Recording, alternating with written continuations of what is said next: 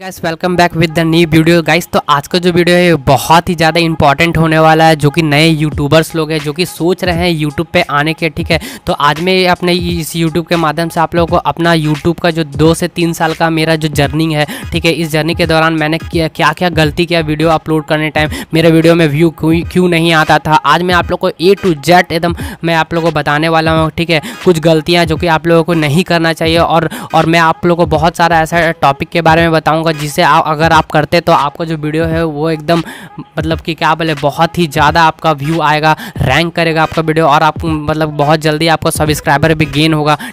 तो मेरा सबसे पहले तो गाइस आप लोग को, को अपना एक मतलब कि कंटेंट पे फोकस करना होगा कि मुझे इस कंटेंट पे आप लोग को वीडियो डालना है ठीक है? क्योंकि मैं यही गलती करता था कि मैं कुछ भी वीडियो डाल देता था ठीक है? मेरा कोई कंटेंट नहीं था कभी अर्निंग से रिलेटेड कभी फॉर्म से रिलेटेड कभी ब्लॉग से रिलेटेड ठीक है? तो ये चार पाँच मतलब कंटेंट पे डालने के बाद भी मुझे एक बेनिफिट हुआ जो कि मैं आप लोगों को आगे बताऊँगा, ठीक है? तो सबसे पहला आप लोगों को टॉपिक ये करना है कि आप लोगों को मतलब कि अपना कंटेंट पे फोकस करना है। दूसरा चीज़ क्या होता है कि अगर आप अगर कंटेंट सेलेक्ट कर लिए हैं तो उस कंटेंट पे आपको अपने यूट्यूब पे जाने के बाद सबसे पहले तो क्या करना है कि उस टॉपिक पे आपको देखना है कि कितने सारे वीडियो बने हुए हैं, ठीक है? उस वीडियो को देखने के बाद फिर क्या करना है कि आपको सबसे पहले अपना, ना ट्रेंडिंग टॉपिक आपको सेलेक्ट करना है कि कौन सा टॉपिक पे वीडियो बनाएँगे तो ज़्यादा बेटर रहेगा, क्योंकि आप तो अपना अपना कंटेंट सेलेक्ट कर ही चुके हैं तो उससे रिलेटेड आपका सबसे पहले आपको क्या करना है कि ट्रेंडिंग टॉपिक आपको सर्च करना है, ठीक है? कि कौन सा ट्रेंडिंग टॉपिक चल रहा है, उस पर आपको वीडियो बनाना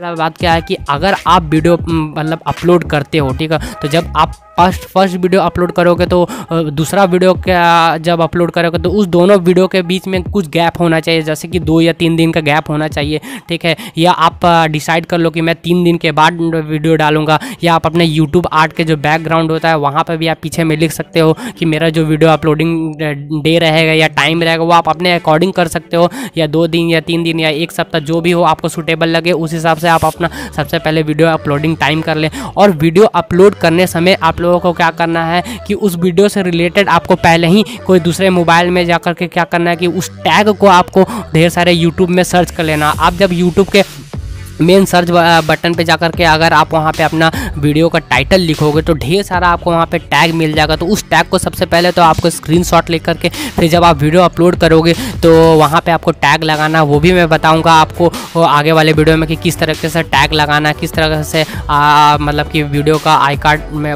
ये करना है, ठीक है अटैच करना है आई कार्ड ठीक है। और सबसे बड़ा बात कि जो बिगनर यूट्यूबर्स होते हैं, वो कभी भी ये गलती नहीं करें कि सबसे पहले अपना इंट्रो वीडियो नहीं लगाना, ठीक ठीक है पहले जो आपका कंटेंट है, जो आप अपने व्यूअर्स के साथ समझाना चाहते हैं, वो वीडियो मतलब कि वो पहले बनाए, ठीक है? जब आपका चैनल उस लेवल पर पहुँच जाएगा, तब आप मतलब कि इंट्रो लगा सकते हैं। उसके बाद फिर गाइस क्या करना है कि आपको जब वीडियो अपलोड करते हैं, तब एक वहाँ पर आपको आई कार्ड का एक ऑप्शन आता है आई कार्ड बटन का, ठीक है? जो कि आपको अगर लगाओगे तो आपका प्रीवियस वीडियो भी बहुत ही ज़्यादा मतलब कि रैंक करेगा। जैसे कि मेरा एक वीडियो चल रहा है तो इसमें आगे मैं यहाँ पे राइट साइड के कॉर्नर में मैं एक आई कार्ड बटन लगाऊँगा, ठीक है? तो उससे मेरा प्रीवियस ईयर का वीडियो में भी मतलब प्रीवियस वीडियो में भी बहुत ज़्यादा व्यू जाएगा गाइज़ ठीक है? मैं सब आपको जितने भी टॉपिक बता रहा हूँ, मैं सब पे आप लोग को एक एक वीडियो बना करके दूँगा कि किस तरीके से लगाना है.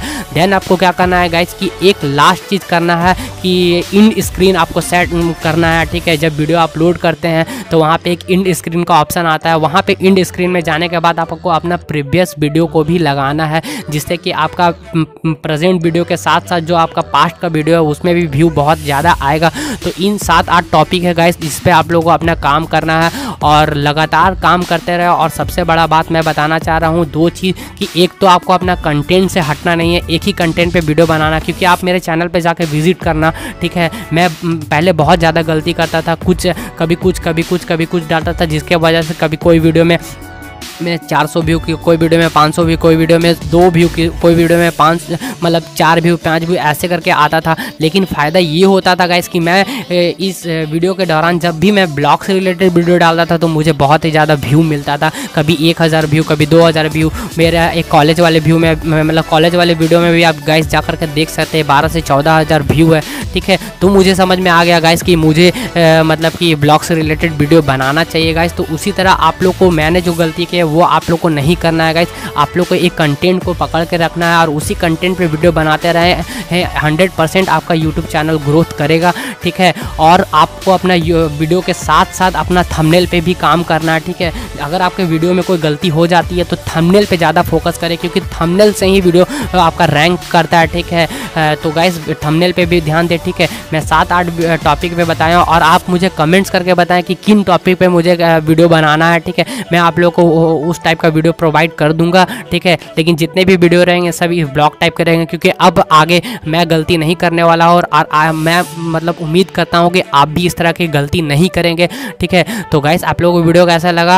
आ, मुझे कमेंट्स करके बताएँ। अगर मेरे वीडियो के दौरान कुछ भी गलती होंगे तो मुझे कमेंट्स करके बताएँ क्योंकि आपके कमेंट से ही मैं मोटिवेट हूँ और आगे उस गलतियों को नहीं करूँगा। तो गाइस अगर आप लोग को वीडियो अच्छा लगता है तो लाइक करते हुए जाएँ और अगर चैनल पर फ़र्स्ट टाइम विज़िट कर रहे हैं तो सब्सक्राइब करते हुए जाएँ। तो guys thank you for watching this video